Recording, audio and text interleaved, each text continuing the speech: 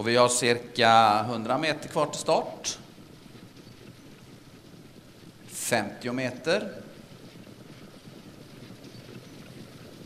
Startbilen har eh, lämnat fältet. Mitt i banan nummer 4 Örjly Pack 12. Invändigt 2 Kommun Caress. Längre ut nummer 5 Privé.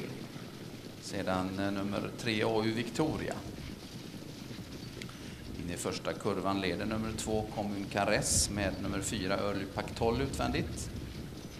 Där bakom följer eh, nummer 3 Oy, Victoria och nummer 5 Privé. Samtidigt som vi har ny ledare i nummer 4 Early Pactol, Före nummer 2 Kommun Caress. Första häst i andra spår 5 Privé. Första 500 metern efter en 12,6. Tredje par invändigt 3 Oy, Victoria som på utsidan har 10 Star och Leonardo. Sedan i fjärde par nummer 1 Henrik Greenwood och nummer 11 Miss Senorita. Längre ner invändigt finns nummer 9 Dream of Nature i andra spår 12 Taiga Woodland. Sedan följer också nummer 6 Rocky Pop och avslutande nummer 7 Chablis Eko. Leder gör 4 Early Pack 12 med 5 Privé-snett på utsidan. På ledaren 2 Commun Caress, andra par utvändigt för 10 Staro Leonardo. Varvet på en 15,6. Vi börjar sista varvet med fyra Early Pack 12 i ledning. Första häst i andra spår 5 Privé. Där bakom 2 Commun Caress, 10 Star och Leonardo. Så är det 3 AU Victoria och nummer 11 Miss Senorita. Fjärde par invändigt sedan ett Henrik Greenwood i andra spår 12 Tiger Woodland. Sedan har vi 9 Dream of Nature och 6 Rocky Pop. Avslutar gör nummer 7 Chablis DK. Fyra Early Pack 12 i ledning ut på den sista bortre långsidan. Första häst i andra spår 5 Privé. Ryggledaren 2 Kommun Caress, andra utvändigt för 10 Star och Leonardo. Kommer angrepp från nummer 12 Tiger Woodland. Attack då också från nummer 10 Star och Leonardo som tar sig fram då som första häst i andra spår. In i sista kurvan så är det fyra Early Pack 12 i ledning. Får 10 Star och Leonardo på utsidan. Där bakom två Kommun Caress och nummer 12 Tiger Woodland. Nummer 4, Early Pack 12, längden före 10 Star och Leonardo, sedan 2 Commun Caress och nummer 12 Tiger Woodland. Först in på upploppet, nummer 4, Early Pack 12, före 10 Star och Leonardo.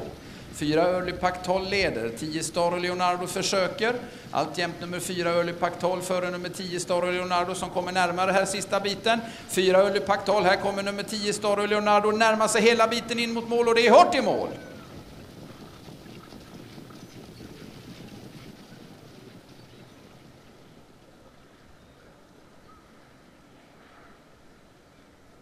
Pack 12 plockar andra raka segern i karriären. Andra raka tillsammans med Kristoffer Eriksson och det är Thomas Malmqvist som tränar. Grattis! Tack så du Säger de honom ikväll mot segern senast? uh, Ja, men jag tyckte han fungerade bättre idag. Även om inte det är hundraprocentigt så var det betydligt mycket bättre denna gången än senast. Så att, uh, han visade lite moral sista biten när han, uh, han kunde hålla sig i trav och ändå vinna. Det såg ganska säkert ut mitt på upploppet men sen fick han sträcka på sig lite sista biten där. Ja, Jockes häst var det en bra häst. Det såg vi i debuten ju, så att uh, den kom ju närmare och närmare. Mycket franskt är det i Pack 12. Ja, lite för mycket. Två raka har det blivit nu. Ja, precis. Nej, men Thomas är duktig. Så.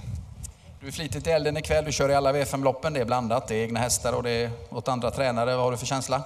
Uh, ja, men jag tycker jag har fina hästar. Springfield är väl den som är hetast på pappret. Och mina två är bra hästar. Eh, Cervix AM har jag kanske trott lite mer på vad hon har tävlat och nu är det ju 1600 meter första gången som jag tror är ett plus för hennes del. Och Olivia Tjej har varit eh, stått över lite och behöver säkerligen loppet i kroppen. Mm. Nu ska vi se Kristoffer. Nu ska vi eh, komma, minnas några dagar tillbaka här såklart också. Kent han kommer här, han ska hämta blommor och champagne till dig. Vi ska förstås prata lite Oslo Grand Prix och ett jättegrattis till största segern i karriären så här långt. Ja, det är det. Penningmässigt så är det ju det största loppet jag har vunnit så det, det är fantastiskt. Mm. Penningmässigt. Penningmässigt säger du, är det andra segrar du går och tänker på också? Eh, Ja, men det är klart att det finns ju andra lopp som kanske är mer känslomässigt eh, större för en. Men penningmässigt så är det ju Grand Prix som, är det, som jag har kört in mest. Om du blickar tillbaka nu ett par dagar, vad, vad, säger du när det gick ut på slutvarvet till exempel, sista, racet med, eller sista varvet där med Twisterby, hur kändes det då? Eh, ja, men jag tyckte väl att det gick lite väl sakta kanske i loppet för att passa han eh, så bäst, men han kändes väldigt bra och eh, banan var ju lite krävande och det, det passar ju han som är en stridsvagn. Han bryr sig inte riktigt vad han springer på. Och, så att det kändes ju bra, men man vet ju aldrig. Så fick du några längder ändå fram till Lionel där i sista kurvan? Ja, men jag tror det var det som avgjorde loppet också, att han tryckte sig till ledning, att jag kunde trilla ner ett spår eh, i sista sväng som gjorde att han fick lite självförtroende, hästen.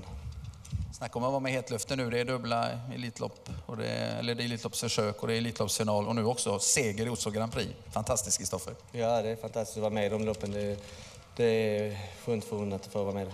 Härligt. Jättestort grattis från alla på Jägersro. Tack så du ha. Kristoffer Eriksson alltså, en stor applåd. Han eh, plockade hem Oslo Grand Prix med Jerry Rordens Twisterby i söndags.